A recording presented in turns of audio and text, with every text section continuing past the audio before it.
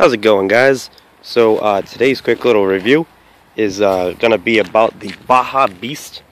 Uh, picked it up at Walmart for $39.99.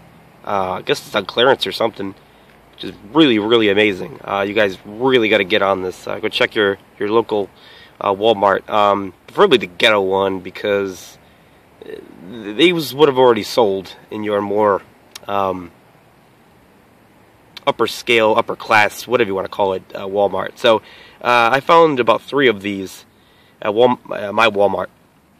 So uh, yeah, this is a really awesome uh, hobby grade uh, toy hybrid. Um, it's, a, it's, a, mixture of the two. as you can see, it's got um, it's got independent suspension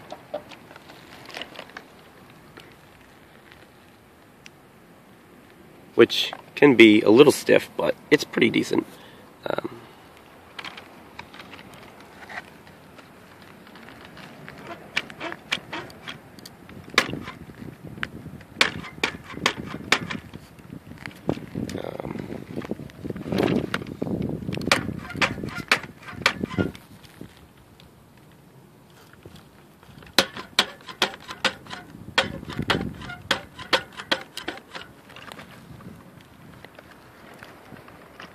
So yeah, um, takes a 7.2 rechargeable uh, NIMH.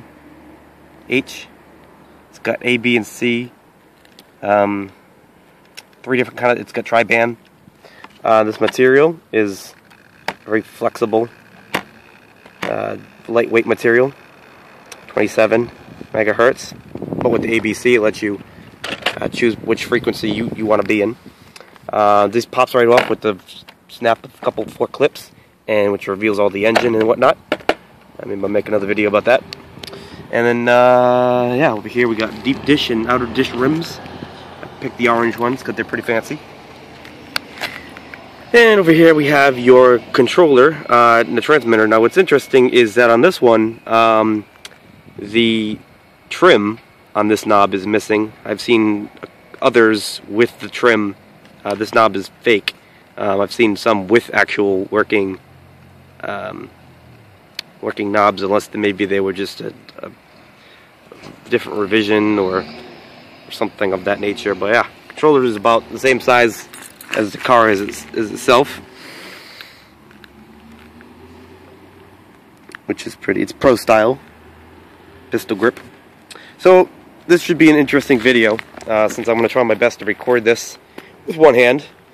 Um, but yeah, uh, overall I did a little bit of test driving already to get the feel of it, and it's very uh, aggressive. It does not care about where you put it. It will drive over most anything, little snow patches, goes right through. Uh, when you get into the bigger stuff, it, it says absolutely not, get stuck in there.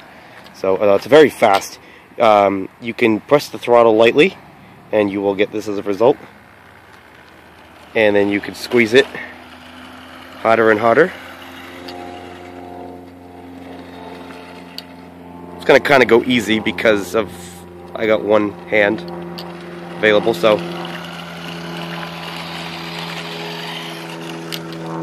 gonna be able to turn it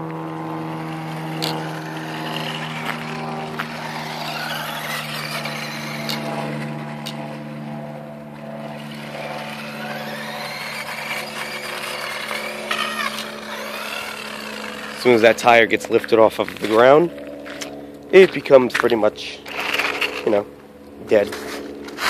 Once you give it some traction though, it picks right back up. It's not it's not waterproof, so it's kind of dangerous, uh, the environment I'm giving it right now. But it seems to be handling it pretty well.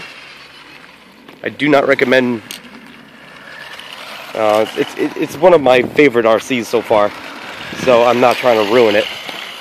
So it's very hard to uh, want to drive it like a madman, but at the same time be gentle with it like a...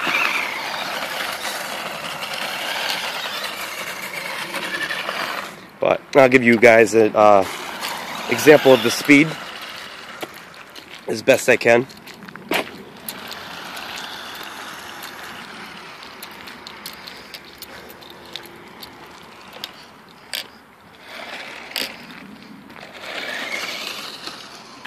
This is the first original charge, um, right out of the, the box. They um, they recommend eight hours, so I left it on the charger for eight hours. Played with it for about maybe five minutes now. So this should be about full speed. You like this and pull the trigger full on 100%. So this is for speed test from, uh, this is the trigger all the way back immediately.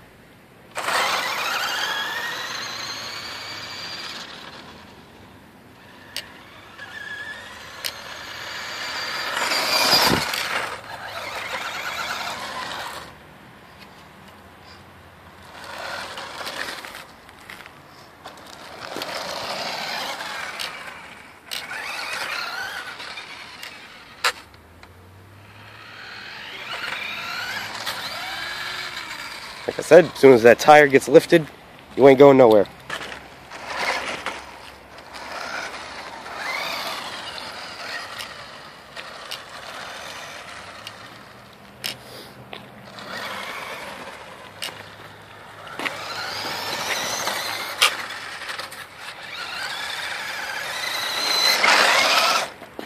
It is fast enough that you can uh, pull back the trigger and it will do a little 360 spin around very quickly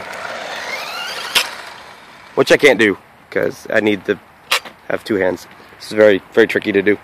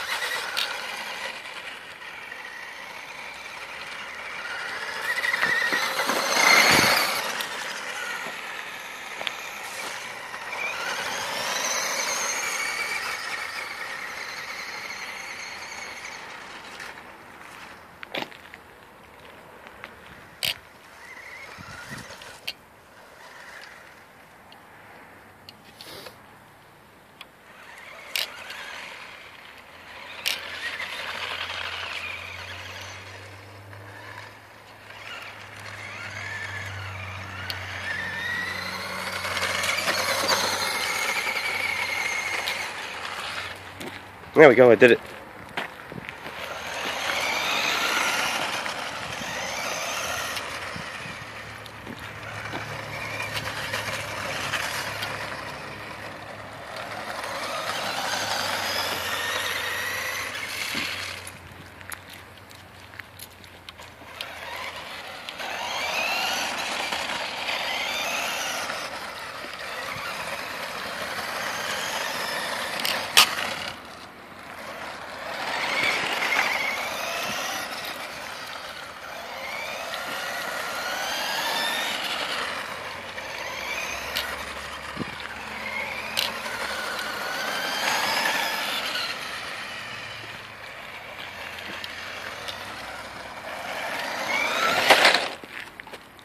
So yeah, pretty much, uh, you know, I wanted to show you guys. Uh, TPX reviews for Baja Beast, I gotta say.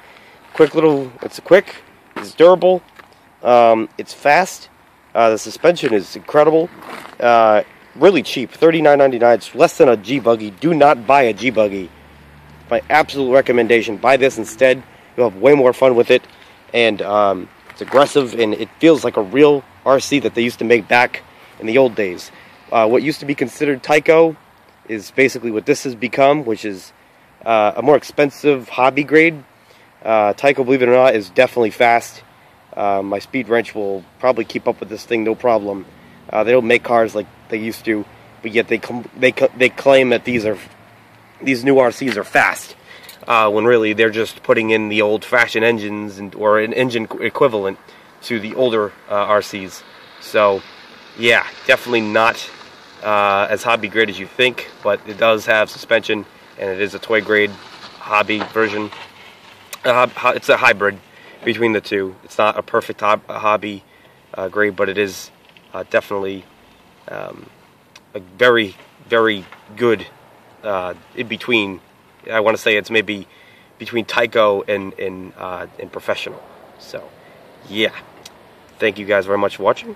I hope you guys enjoyed my review any if you guys want a better example of uh, the performance, uh, maybe I'll make another video for you guys. Let me know. Peace.